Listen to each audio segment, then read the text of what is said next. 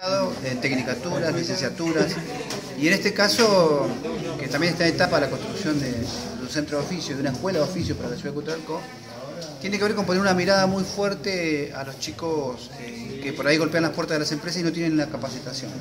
Los chicos que no terminaron el secundario, que no tuvieron la posibilidad o que no quisieron. Entonces, eh, esa franja estaba como, olvidada o como en una etapa, digamos, no podían insertarse en la actividad laboral. Este objetivo tiene ese, ese, ese, plan ¿no? de incorporar a los chicos a la actividad laboral, a los chicos que no terminaron el secundario.